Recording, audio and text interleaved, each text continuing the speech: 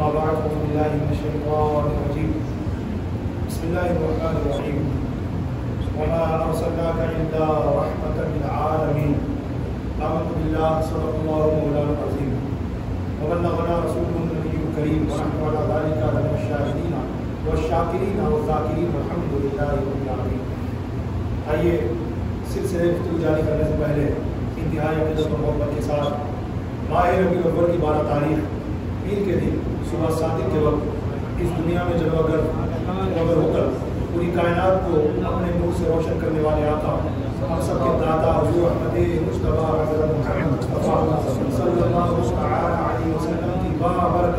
में जी लगाकर आवाज़ से आवाज़ मिला करके, मेरा साथ दिया सलाम और सलाम वसलाम या रसूल अल्लाह सल्लल्लाहु अलैहि वसल्लम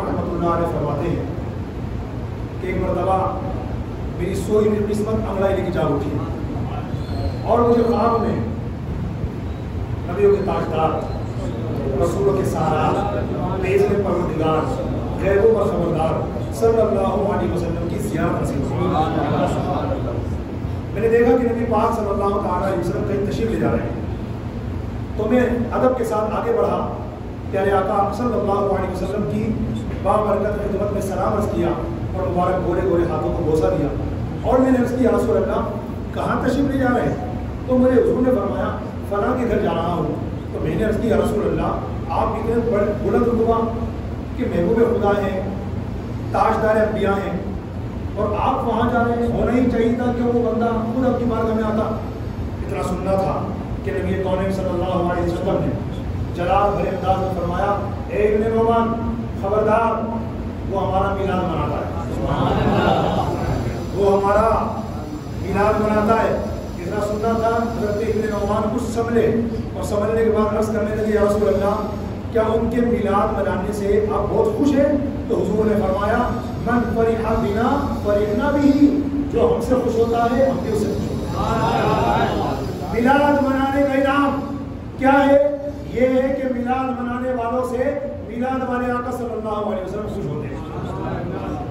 और जिनसे वो खुश हो गए, उनसे अल्लाह खुश हो गए। क्यों?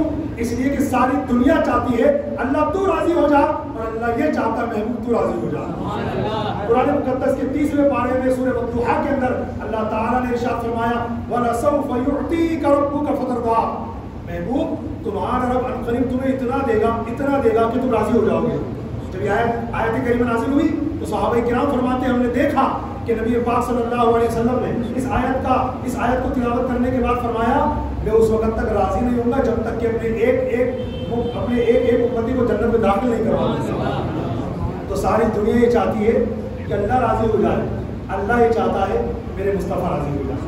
अलहमदिल्ला इस्लामी साल का तीसरा महीना, माह मुबारक, माह नूर, माह रबी अव्वल, अपनी तमाम तर बरकतों के साथ ज़रूर कर रहा है, इस मुबारक महीने के आते ही वो सुहानी घड़िया याद आने लगती हैं कि जब रबी नवर का महीना था, बारह तारीख थी, पीर का दिन था, सुबह शादी का वक्त था और मक्का मुकरमा की सरजमीन थी और आसमान से नूर बरस रहा था। आसमान के दरवाजे खोल दिए गए थे और फरिश्ते कितार, दर कितार, हाथ बांधे सलात सलाम पढ़ाने के लिए आसमान से नाजिल हो रहे थे। और हज़रत बीबी आमिना खातून रज़ी अल्लाह तारा अनहा के मुबारक घर को घेर कर असलात वसलाम का रसूल की सलाह अलहमदिल्ला हमारे बड़े खुशी में कि अल्लाह तबारक वाली ने हमें मिलाद मनाने वालों में शामिल फरमाया। मिलाद मनाने वाले बड़े खुश नसीब हैं। मेरा आज के बयान में जो अभी गिरा वही मिलाप मनाने का इनाम। तो हर हर बयान को बयान के हर हर लफ्ज़ को तवज्जो के साथ सुनिएगा और इसी से हम काउंट करते चले जाइएगा कि मिलाप मनाने वाले को कैसे कैसे इनाम मिलते हैं। अभी शुरू के अंदर जो मैंने अलामा इमाम अब्दुलरहमान इबन जौजी रहमत की किताब से अलामा इबन नौमान रहमत ने जो वाक्य बयान किया उससे आपने अंदाज़ा लगाया कि मिलाद मनाने वालों से मिलाद वाले आपका बहुत खुश होते हैं। इसलिए बोलो जो मिलाद मुस्तफ़ा सल्लल्लाहु अलैहि वसल्लम के मौके पर महफिल मिलाद का इनका करते हैं, अपने घरों को सजाते हैं, झंडे उठाते हैं, मरहबा या मरहबा या मुस्तफ़ा के नारे लगाते हैं और मजलिसों का इनका करते हैं। जुलूस की शक्ल में अल्हम्दुलिल्लाह प्यारे आका सल्लल्लाहु अलैहि वसल्लम की ताज़ीम और तौकीर बजा लाते हैं। ये सब क्या कर रहे हैं? हुजूर की ताज़ीम बजा ला रहे हैं। और याद रखना, कुरान पाक के 26वें बारे में एक सूरत मौजूद है, जिसका नाम है सूरह फतह। कभी मौका मिले तो पढ़िएगा। सूरह फतह की आठवीं और नौवीं आयत में आपको पढ़ के सुना रहा हूँ। और इस आयत के ज़रिए बताऊँगा कि हम जो हजूर का मिलाद बनाते हैं, महफिलें सजाते हैं, जुलूस निकालते हैं, झंडे उठाते हैं, मरहबा या मुस्तफ़ा के नारे लगाते हैं, या महफिलें मुनद करते हैं, या हजूर वसल्लम की आमद आमद का जश्न मनाते हैं, ये सब इस आयत में दाखिल है। चुनाच कुरान पाक के छब्बीसवें पारे की सूर्य फतह की आठवीं और नवी आयत में अल्लाह इरशाद फरमाता है, इन्ना अरसलनाका शाहिदन व मुबश्शिरन व नज़ीरा, लितुमिनु बिल्लाहि व रसूलिही व तुअस्सिरुहु व तुवक्किरुहु व तुसब्बिहुहु बुक्रतन व असीला आसान तर्जुमा समात फरमा ले अल्लाह इरशाद फरमाता है इन्ना अरसलनाका बेशक ए महबूब हमने आपको भेजा क्या बनाकर शाहिदन गवाह बनाकर मुबश्शिरन यानी खुशखबरी सुनाने वाला बनाकर व नजीरन और डर सुनाने वाला बनाकर क्यों भेजा रीजन क्या है तो अल्लाह ने फरमाता है तुमिनु बिल्लाहि व रसूल ताकि ये लोग, तुम अल्लाह रसूल पर ईमान ले आओ, व तुअज्जिरू व तुवक्किरू और मेरे नबी पाक सल्लल्लाहु अलैहि वसल्लम की खूब ताजीम व तौकीर करो, व तुसब्बिहुहु बुकरतन वासीला, और अपने रब की सुबह शाम पाकी बोलो। अब आप एक लफ्ज पे कुरान मुकद्दस के 26वें पारे की सूरह फतह की नवी आयत में अल्लाह ने एक लफ्ज इस्तेमाल फरमाया है? व तुअज्जिरू व तुवक्किरू यानी मेरे महबूब सल्लल्लाहु अलैहि वसल्लम की खूब इज़्ज़त करना, मेरे महबूब सल्लल्लाहु अलैहि वसल्लम की खूब ताजीम व तौकीर करना। अब जानते हैं आप इसकी तफसीर में हमारे ने क्या फरमाया? मुफस्सिरीन किराम फरमाते हैं, जिन मुफस्सिरीन किराम में बड़े बड़े उलमा, खास तौर से हज़रत अल्लामा इस्माइल हकी अलैह ने तफसीर बयान के अंदर, हज़रत अल्लामा महमूद आलूसी अलैह ने तफसीर मानी के अंदर बयान फरमाया कि इस आयत मुबारका में अल्लाह ताला ने अपने बंदों को ये दर्ज दिया है कि मेरे बंदों, मेरे महबूब की खूब ताजीम तौकीर करना। तो आप फरमाते, हुजूर का मिलाद मनाना, हुजूर के मिलाद मुस्तफ़ा पर, मिलाद मुस्तफ़ा के मौके पर घरों को सजाना या महफिल मुनद करना, ये सब हुजूर की ताजीम में शामिल है। यानी जो हुजूर का मिलाद मना रहे हैं तो गोया इस एंगल से वो अल्लाह के फरमान, व तुअस्सिरू व तुवक्किरू पर अमल करके हुजूर की ताजीम बजाना रहे हैं। अल्लाह का हुक्म है, ताजीम करो मेरे महबूब की। कुछ लोग कहते हैं ना, ये बड़ों के सलाम पढ़ते कुरान में का लिखा का कुरान।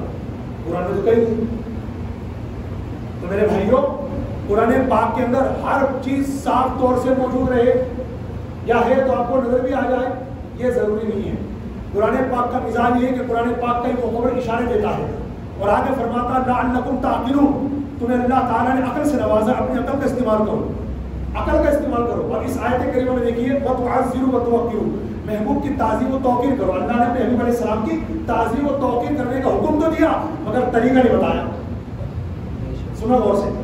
इस आयत में अल्लाह ने ताजीम व तौकीर करने का हुक्म दिया, मगर ये नहीं फरमाया इस आयत में कि ताजीम ऐसे करो बैठ के सलाम पढ़ो या खड़े होकर सलाम पढ़ो, हाथ बाँध के सलाम पढ़ो, निगाहें झुका के सलाम पढ़ो, गुंबद खजरा की तरफ़ मुँह करके सलाम पढ़ो। तरह का कुछ नहीं फरमाया। बल्कि क्या फरमाया? ताजीम करो। अब वरमा ने कितनी प्यारी बात फरमाई। वो वो हर तरीका जो ताजीम मुस्तफ़ा में शामिल है गौर से सुनना।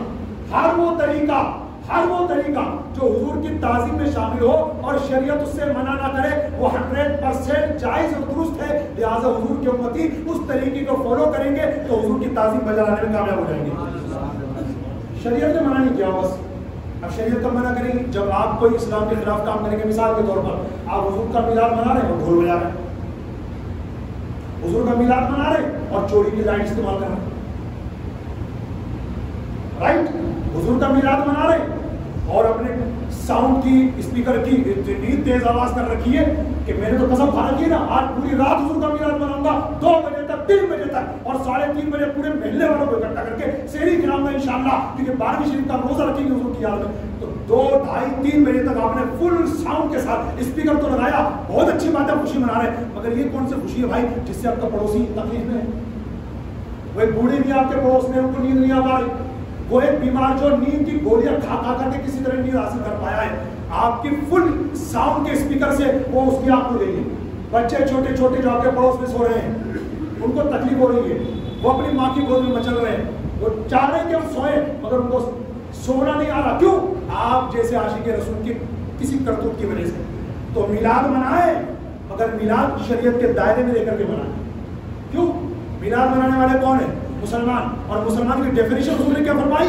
अल मुस्लिम मन सलीम अल मुस्लिमूना बिल लिसानी व यदी। फरमाया, मुसलमान वो है जिसके जबान और हाथ से दूसरे मुसलमान महफूज रहे।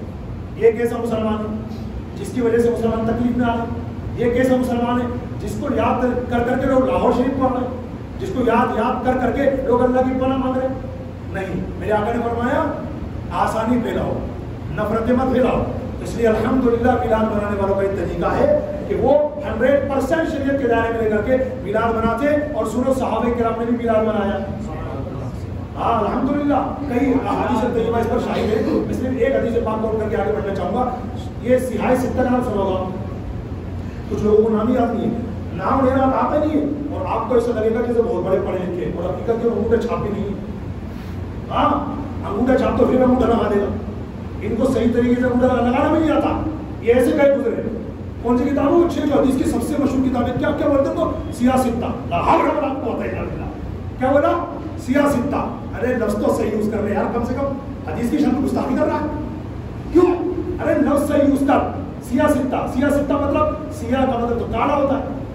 सित्ता मतलब छह तो तूने किताबों को काला कर दिया। सियासित्ता छह काली किताबें तूने जिस किताब की शान में गुस्ताखी कर दी, तू क्या उससे रेफरेंस देगा क्या हवाला देगा किसी को? तो वर्ड तो सही यूज़ करना सीख। ज़ाहिर करके सही लफ्ज है सिहासित्ता क्या है? सिहा इंग्लिश में बोलू? S I H A H सिहा सिहा ये क्या है? सही, ये सिंगुलर है और सिहा ये प्लूरल है। सही मतलब एक सही किताब और सिहा मतलब कई सही किताबें। और सित्ता मतलब छह। तो सिहाए सित्ता जब आपने बोल दिया तो क्या मतलब हुआ? हदीस की छह सही किताबें। कौन कौन सी है? बुखारी, मुस्लिम, अबू दाऊद, निसाई, इब्न माजा, तिरमिजी। ये छह किताबें हदीस शरीफ की जो सबसे बड़ी मोतबर है। इन्हीं को सिहाए सित्ता कहते हैं। इनमें एक किताब आ रही है सुनन निसाई। उसमें एक हदीस पाक है।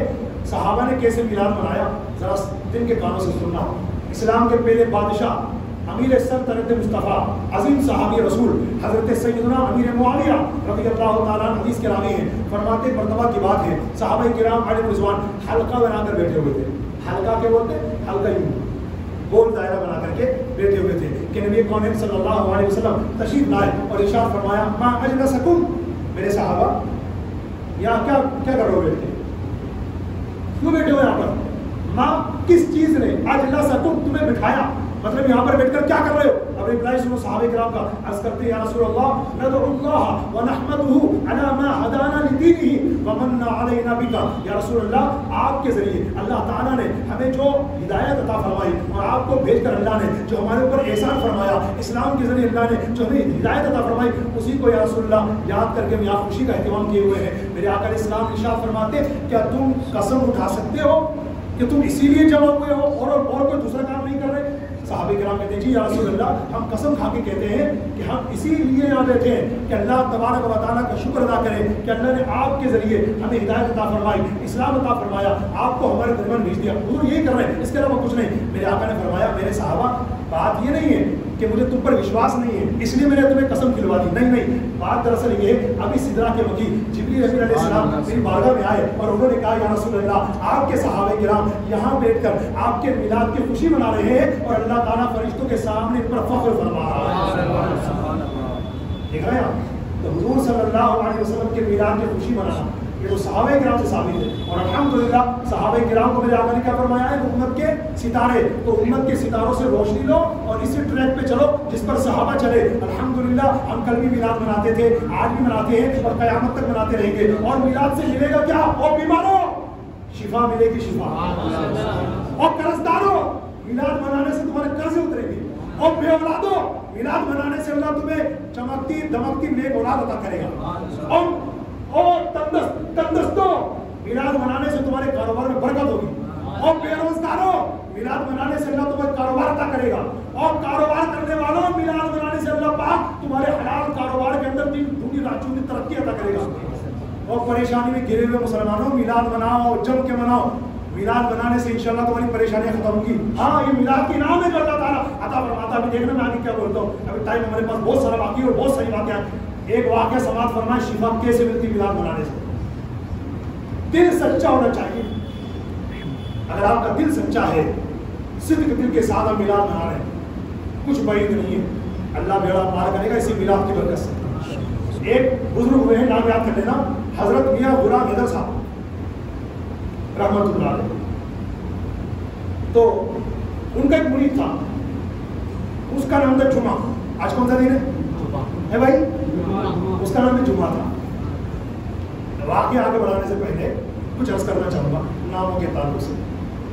आज जिस माशरे में लोग जी रहे ना, आपकी, हमारे बच्चा पैदा होता है ना, अब हम नबियों को भूल गए। नासरत के साथ में बहुत कड़वी बात बता रहा हूँ।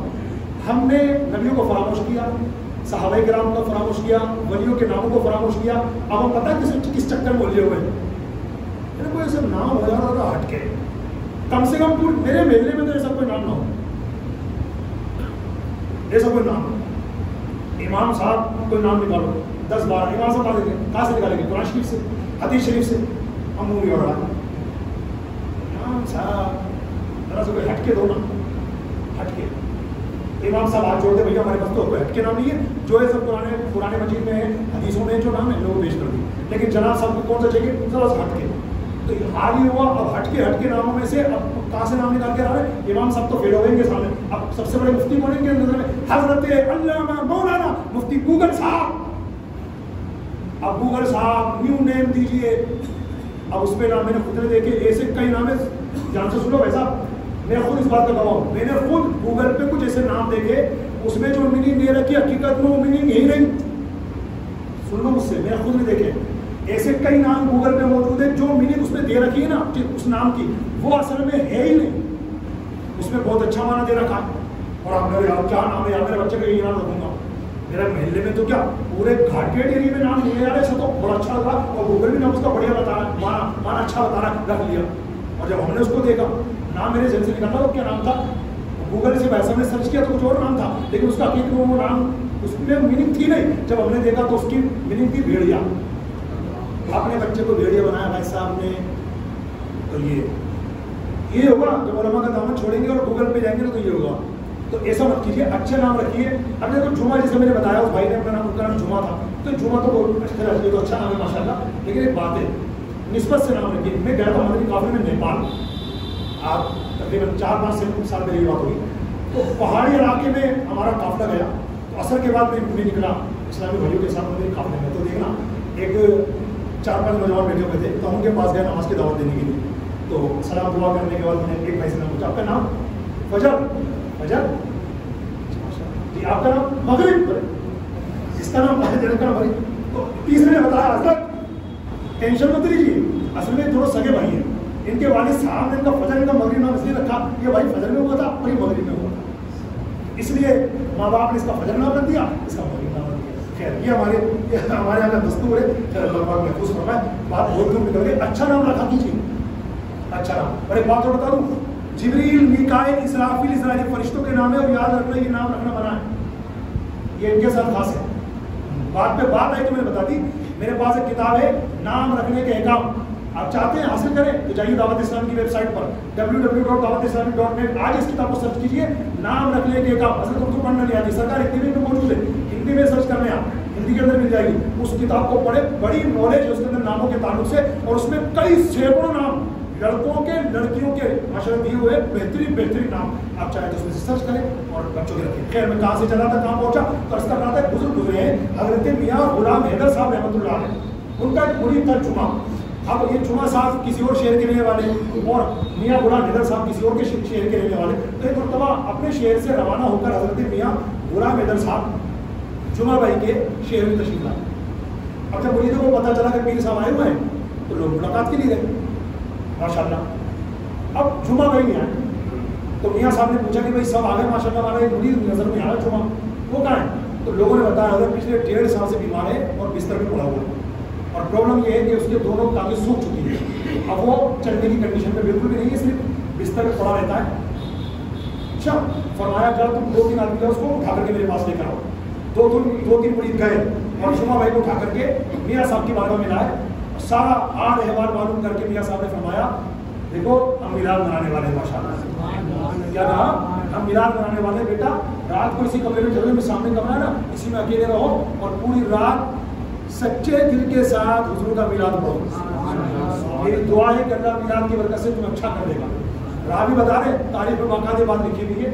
उनको उस कमरे में शिफ्ट कर दिया गया गेट बंद कर दिया गया। पूरी रात वो जुमा भाई उस अकेले कमरे में नबी पाक साहिब दौलत सयाह अफलाक सल्लल्लाहु का मिलाद पढ़ते रहे।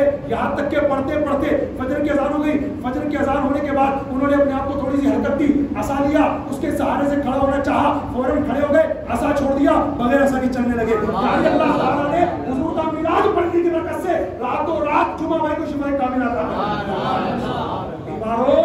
मिलाद की बरकत से अल्लाह शिफा अता करता है। और अगर ज़्यादा होशियार बनने की कोशिश की तो इनको भी बता दो डेढ़ होशियारों को कि अगर तुम गुस्ताखी करोगे और मिलाद का अपमान करोगे तो क्या होगा सुनो? एक वाकया। हज़रत अब्बास मालिक रहमतुल्लाह ओ सदियों पहले के बुज़ुर्ग हैं, वाकया बयान करते हैं, एक मरतबा मिलाद की रात मैं बैतुल मुकद्दस हाजिर हुआ, मस्जिद अक्सा। तो मैंने देखा, अलहमदुलिल्लाह वहाँ पर महफिल मिलाद चल रही थी। महफिल मिलाद। अच्छा महफिल मिलाद महफिल मिलाद, मैं बार बार यूज़ कर रहा हूँ। तो ये रुक करके मैं डिफाइन कर दूँ आपके सामने। एक महफिल मिलाद हमारे जयपुर में होती है, जिसमें पार्टी होती है। कुछ ग्रुप के लोग होते हैं, वो पढ़ते हैं। हमारे मोहसिन साहब की पार्टी है। हमारे वाले साहब भी माशाल्लाह, अच्छे मिलाद का को सलामत रखे। ऐसे हमारे जयपुर में कई पार्टियाँ बनी हुई है मिलाद की। चार चार, पाँच पाँच, दस दस मेंबर में प्रभु पूरी टीम, आप जब दावत देंगे तो आपके घर पर आएँगे माशा मिलाद पढ़ेंगे अल्लाह पाक इन सबको दीनों दुनिया की बरकत अदा फरमाए। और अल्लाह पाक और दिल लगा के मिलाद पढ़ने की तोफीक अदा फरमाए। तो जिस जगह पर ये मिलाद का हज़रत जमा होते हैं तो हम उसे मिलाद का नाम देते हैं मिलाद की महफिल है। मगर याद रखना सिर्फ़ वही महफिल मिलाद नहीं है। महफिल मिलाद हर उस महफिल को कहते हैं जिसमें नबी पाक सल्लल्लाहु अलैहि वसल्लम का ज़िक्र होता है। यानी इस एक घर से अभी जो बैठे हुए ना ये भी महफिल मिला ये भी उसके मिला के महफिल ठीक है अब सुनो आगे। हज़रत अब्बास मालिक फरमाते बैतुल मुकद्दस में मैं मिला शरीफ की रात हाजिर हुआ। मैं फिर मिला चल रही थी।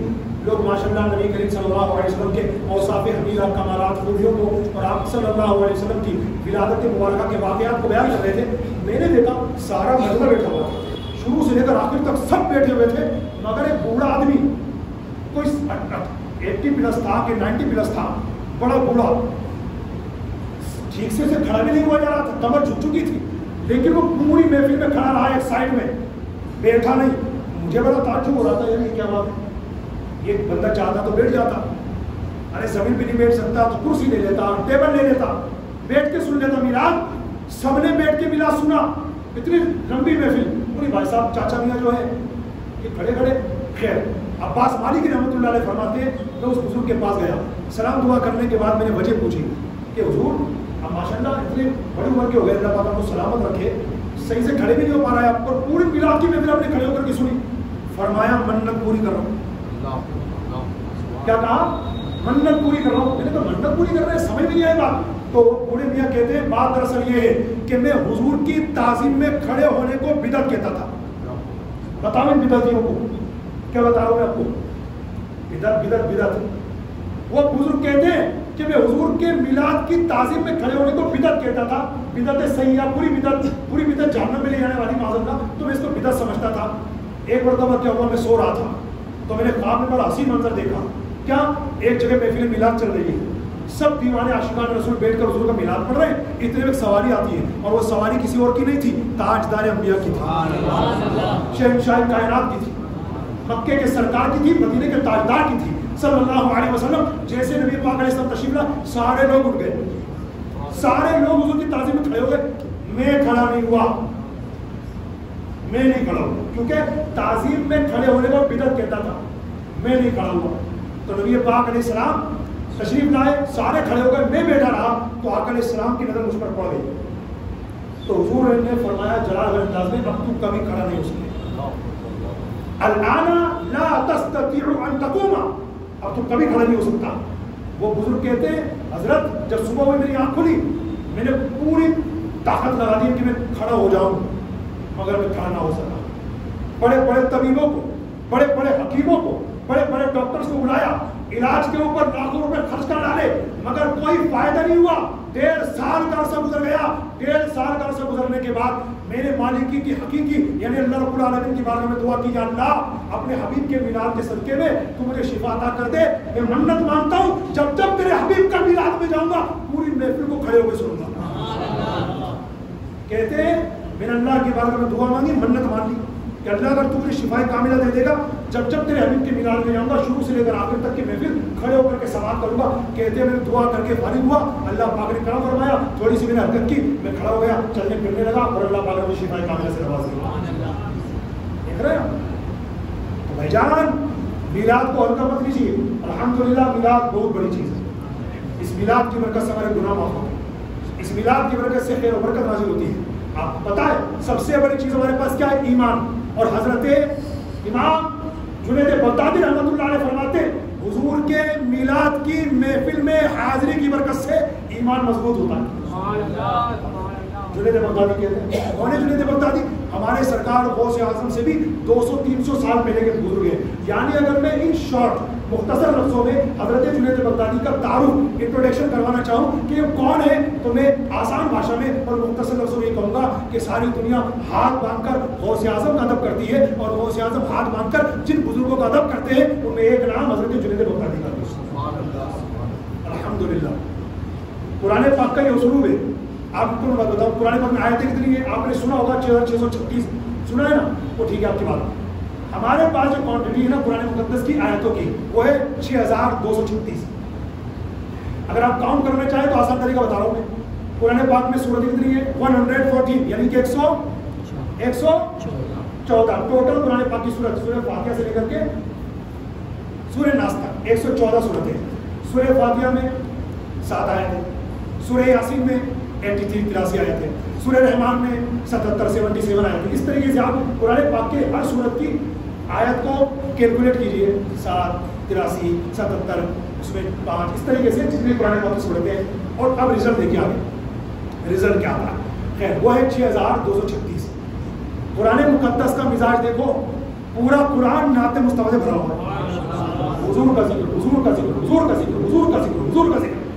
ताजुब की बात बताओ देखो क्या कह रहा हूँ आपसे। पुराने पाक के टोटल छह हज़ार दो सौ छत्तीस आयतें हैं और सात हज़ार मरतबा ज़िक्र मुस्तफ़ा हुआ।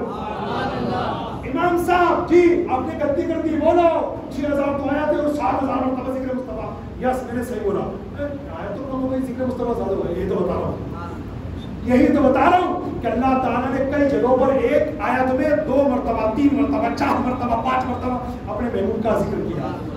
इस तरीके से छह हज़ार दो सौ छत्तीस आयतों में अल्लाह ने सात हज़ार मरतबा महबूब वसल्लम का ज़िक्र किया है और अल्लाह पाक को अपने महबूब से प्यारी ऐसा है अल्लाह पाक को अपने हबीब से प्यारी ऐसा है हमारे देखो, ये चल रहा है रबी अव्वल का महीना। हम इसमें मिलाद की महफिल से जाते हैं।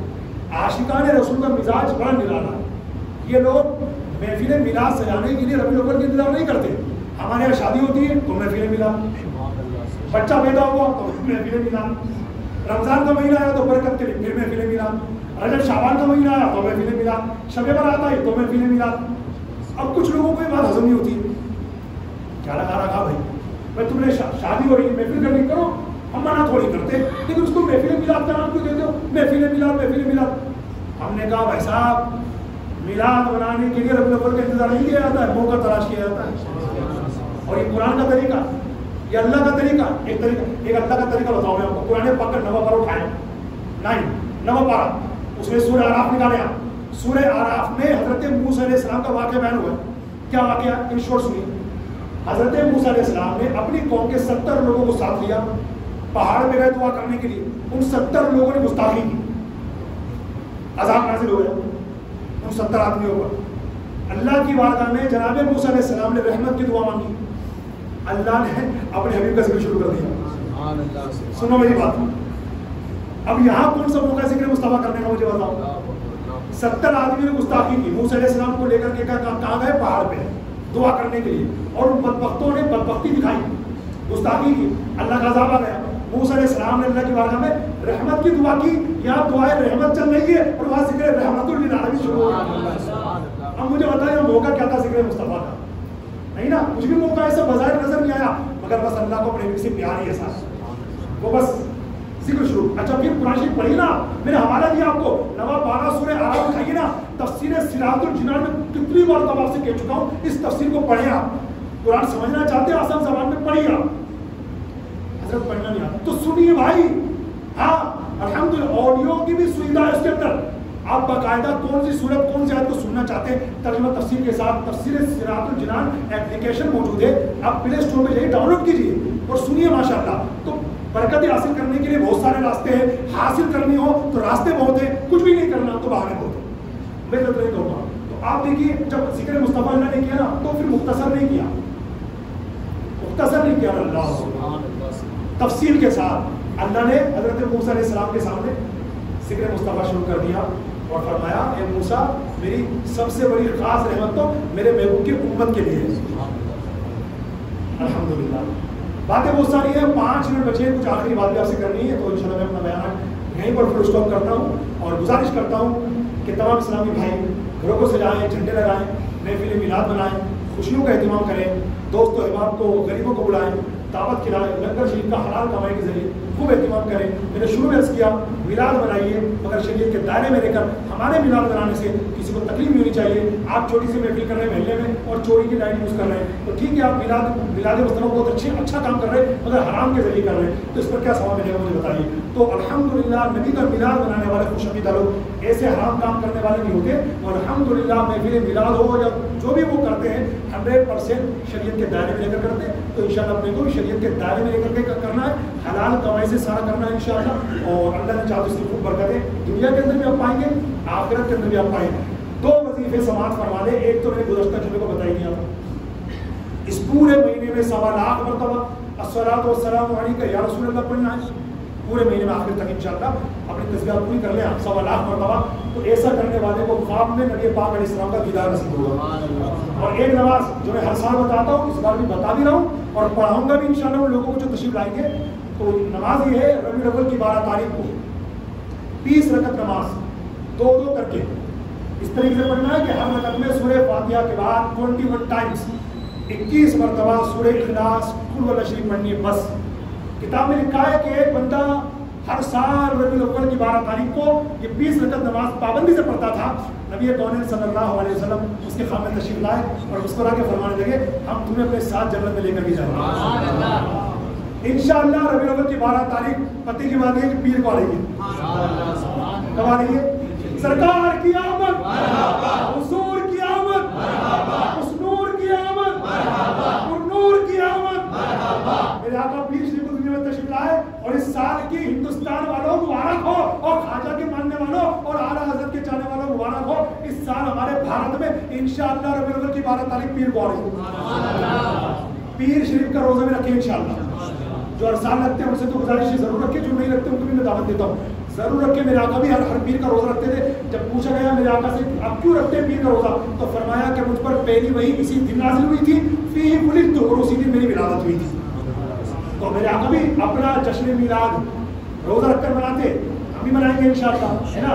तो अच्छा पीर शरीफ के दिन आने वाले पीर को रबी की बारह तारीख को रोजा रोजा भी रखना इंशाल्लाह, और फजर की नमाज़ के बाद जब इशरा को चाश का टाइम होगा, अपनी मस्जिद सराय वाला में ये नमाज़ इंशाल्लाह बीस रकत जमात के साथ अदा करते हैं सब लोगों को पता आपको है तो आप तशीफ लाए, क्योंकि यही टाइम रहेगा अदा करने का। हम चाहें कि जोहर के बाद पढ़े तो जुलूस का टाइम रहेगा। असर के बाद तो पढ़ नहीं सकते, क्योंकि असर के बाद कोई भी नफर नमाज़ पढ़ना चाहिए नहीं ठीक है ना? तो हमारे पास ये वन टाइम रहेगा। फजर की नमाज़ के बाद जब इशरा को चाश का टाइम हो जाएगा तो ये बारह सॉरी सॉरी बीस, बारह बोलते शायद मैंने। बीस रकत। बारह तारीख को ये बीस रकत नमाज़ पढ़ने की है। अपनी मस्जिद में इशरा को चाश की आके वक्त में अदा हो जाएगी। जो हजरात अदा करना चाहे, ज़रूर तशरीफ़ लाए। हो सके तो फजर की नमाज़ यही पढ़े और फजर की नमाज़ के बाद ज़िक्र फ़िक्र में लगे रहे। इंशाल्लाह जब मकरूब खत्म हो जाएगा बीस रकात इंशाल्लाह जमात के साथ अदा करेंगे। ये जो नमाज़ मैंने बताई है। अपने घर की माँ बहनों को बता दीजिएगा ताकि वो भी इस नमाज़ को पढ़ने का इंतज़ाम करें। हर रकात में सूर्य फातिहा के बाद इक्कीस मरतबा सूर्य इखलास कुल शरीफ पढ़नी इंशाल्लाह और बड़ी रात को, यानी कि इतवार नाइट में चूँकि बड़ी रात रहेगी तो अपनी मस्जिद में प्रोग्राम होता है मज़ा हर साल चलिए इस मरतबा प्रोग्राम जो होता है अक्सर बड़ा, थोड़ा छोटा होगा मतलब ग्यारह या ग्यारह बज के बारह मिनट तक चलेगा। और उसके बाद इंशाल्लाह कोशिश करूँगा कि गुजशत साल की तरह इस मरतबा में अपनी मस्जिद में, इस आखिरी प्रोग्राम में इन हमारे प्यारे नबी सल्लल्लाहु के मुँह मुबारक, यानी बार शरीफ की ज़्यादा भी करवाई जाए। पिछली बार हुआ था माशाल्लाह, इस बार भी कोशिश करूँगा, दुआ करिएगा इंशाल्लाह आसानी हो जाए और आपका इस का बार शरीफ यहाँ तशरीफ़ लेकर के आए तो इंशाल्लाह उसकी ज़्यादा होगी और फिर भट्टा बस्ती में दावत इस्लामी की तरफ़ से पूरे, पूरी रात का सुबह सादिक का इज्तिमा चलेगा और यहाँ जो लोग जलसा होता है, वो भी इंशाल्लाह होगा। आप लोगों के लिए जहाँ आसानी हो या दोनों जगह आसानी हो, ज़रूर पहुँचे